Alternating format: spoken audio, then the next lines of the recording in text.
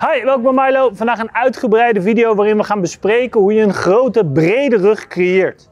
Als we kijken naar de rug, dan gaat het niet om één spier, maar meerdere spiergroepen die samenwerken om trekbewegingen mogelijk te maken.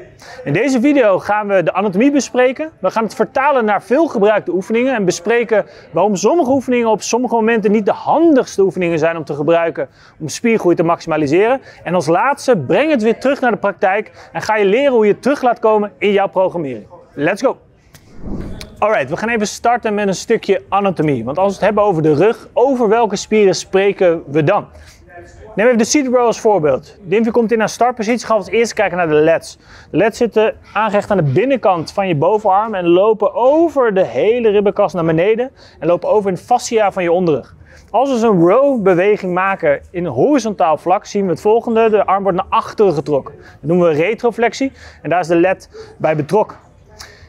Echter is het ook zo dat de leds andere functies hebben. Ze zorgen namelijk ook voor endorotatie, naar binnen draaien van je arm. En voor adductie, je arm van buiten naar binnen bewegen. En dat zien we niet terugkomen bij deze oefening. Dan kijken we naar de trapezius. Dat is een ruitvormige spier die tussen de schouderbladen zit, heeft aanhechtingen bovenop het schouderblad en aan de zijkant van het schouderblad. Als we de oefening uitvoeren, dan trekt hij de schouderbladen van voor naar binnen en naar achteren. Dat noemen we retractie.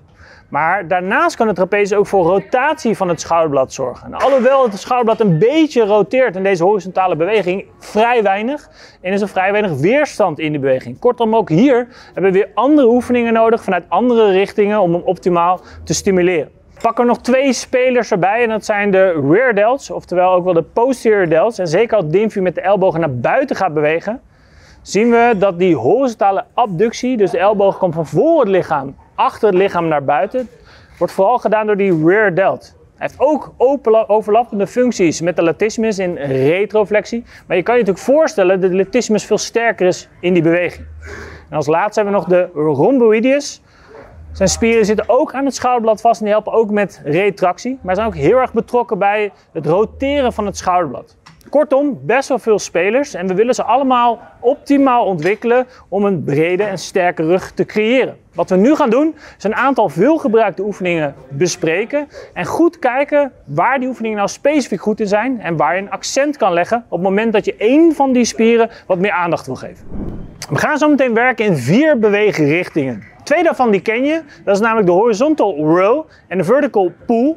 En ik ga daar twee categorieën aan toevoegen die je misschien wat minder goed kent. De eerste is een row beweging van boven naar beneden en de andere is van beneden naar boven. Tussendoor zullen we een aantal keer variëren met de elleboogpositie. En ik ga je precies uitleggen waarom we dat doen en wanneer je welke variatie wil gebruiken. Oké, we beginnen met de horizontal row. Dan zijn we weer terug bij onze introductie, namelijk de seated row. Dimfie laat even een aantal herhalingen zien. Wat deze oefening dus vooral goed doet, is het schouderblad van voor naar achteren bewegen. Zeker de trapezius wordt hierbij goed belast in het patroon van retractie. Ook de latissimus helpt, alleen je moet er wel rekening mee houden dat de hefboom van de latissimus vrij ongunstig is in deze positie. Willen we meer accent leggen op de bovenrug en dus die rear delts nog meer meepakken, dan gaat Dimfie de ellebogen naar buiten brengen. Houd hier rekening mee. Je wil in principe je ellebogen zo hoog mogelijk. Alleen de mobiliteit van je bovenrug en je schouders zal bepalen waar voor jou de limiet ligt. Ga je te hoog, nagelang wat jouw lichaam toelaat, zul je merken dat je ellebogen of je schouders richting je oren gaan. Dan ga je dus te ver. Speel een beetje met die positie. Alright, we gaan ons verplaatsen. We gaan naar een chest supported incline dumbbell row. Nogmaals, het is maar de oefening. Wat hierbij vooral belangrijk is, is dat het je hopelijk opvalt dat de okselhoek kleiner is gemaakt. Als ik dit rechtop zou doen, dan betekent dat ik van die horizontal row nu naar een row ga waarbij mijn vuist lager is dan mijn schouder. Als dit nu de beweging maakt, zien we ook dat ze iets naar boven wordt gefaseerd. We gaan wat sneller richting elevatie van het schouderblad. Het is niet dat we dat weer initiëren, maar wat je zult merken is dat je nu wat meer werkt in de vezelrichting van de upper traps. Dit is dus die tweede deelbeweging waar we het over hebben. Van laag naar hoog werken. Je hebt ook andere variaties van, maar ik vind de incline chest supported dumbbell een fijne variant, omdat de borst gesupport is en we kunnen volledig van flexie, schouderblad helemaal voor, naar achter in retractie, waarbij we dus voelen dat we in die, meer in die bovenste vezels van de trapezius gaan werken. Hey, vind je deze video waardevol? Abonneer je dan op ons kanaal. Wel doen hè? Alright, de laatste richting in het horizontaal bewegen. We gaan nu van hoog naar laag werken. Wat we daarmee doen, is de hoek van de oksel nog groter maken dan normaal gesproken bij een horizontale trekbeweging. En dit heeft gevolgen voor de beweging van het schouderblad. Dimfy laat even zien. Wat we in eerste instantie willen is een zachte beweging van het schouderblad. Het schouderblad komt van voor naar achter. Maar wat je ook zult zien is dat het schouderblad nu ook wat hoger begint en wat lager eindigt.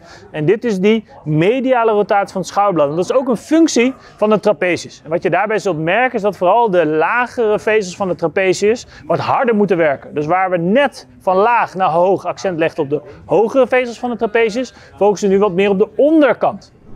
Alright, we gaan naar de pull downs, onze laatste categorie. Daar valt best wel wat over te zeggen. We gaan hier een wide grip pronated pull-down doen. Dimfy laat even een paar halingen zien. En ik wil dat je even let op de beweging van het schouderblad. Je begint helemaal buiten en beweegt helemaal naar binnen en maakt nu een hele grote roterende beweging. Dit noemen we mediale rotatie. Nou, zoals je inmiddels wel weet, is dat een belangrijke functie van de trapezius. Daarnaast zien we dat de arm en de elleboog ver van het lichaam begint en naar het lichaam toe beweegt. Over het algemeen zeggen mensen dat dit een goede oefening is voor de lats. Daar ben ik het niet helemaal mee eens. Wat er namelijk het nadeel is, is dat de weerstand pas vanaf 90 graden, misschien pas iets later, echt op de leds komt. Dus alhoewel we de leds aanspreken in adductie, is het vanuit deze hoek niet echt de ideale positie om kracht te leveren. Daarnaast worden de schouderwaarden uitgedaagd in retractie en mediarotatie. Maar ook hier zit de, de weerstand er niet echt ideaal op. Kortom, we kunnen best wel wat aanpassingen maken aan deze oefening om hem toch wat beter te laten werken voor spiergroei. Alright, we gaan twee aanpassingen doen aan de pull-down om hem iets effectiever te maken voor de leds. De eerste is, we hebben de pols gedraaid en iets naar binnen gepositioneerd. Dit zorgt ervoor dat de lijn van de elleboog zo meteen mooi naar achter is tweede wat we gaan doen, is vanuit deze gestretchte positie, arm is lang en de aanhechting in de rug, deze punten zijn zo ver mogelijk uit elkaar, gaat Dimfy de beweging inzetten en ze gaat naar achteren leunen vanuit de heup. Het voordeel daarvan is, omdat ze naar achteren gaat leunen, is dat er eerder weerstand komt vanuit de led in die beweging van de retroflexie. Kortom, we kunnen meer kracht leveren vanuit die leds in de beweging. En dat is uiteindelijk weer gunstig voor spiergroei. Hoe gaan we dit vertalen naar een programmering? We weten dat we ongeveer tussen de 10 en de 20 werksets per week willen aanbieden om een spier optimaal te laten groeien. Als we nu die vier richtingen hebben, je hebt je pull-down, dus je verticale beweging, je hebt je row, je horizontale beweging en je hebt de twee variaties waarbij we of wat meer accent leggen op de upper traps, van onder naar boven, of wat meer accent leggen op de lower traps, van boven naar beneden. Je wil elk patroon minimaal één keer per week terug laten komen. Let er wel op dat die elleboogpositie heel erg bepaalt of er een nadruk wordt gelegd op de bovenrug met de elleboog naar buiten of wat meer op de leds met de elleboog tegen het lichaam aan. Je wil goed kijken of die leds wel voldoende aandacht krijgt gedurende de week. Over het algemeen zul je zien dat je misschien wat specifiek volume voor de leds moet toevoegen om hem toch optimaal te stimuleren. Dat was het einde van de video. Ik hoop dat je hem waardevol vond. Vond je hem waardevol? Like hem dan even en volg ons hier op YouTube voor je dagelijkse doos educatie.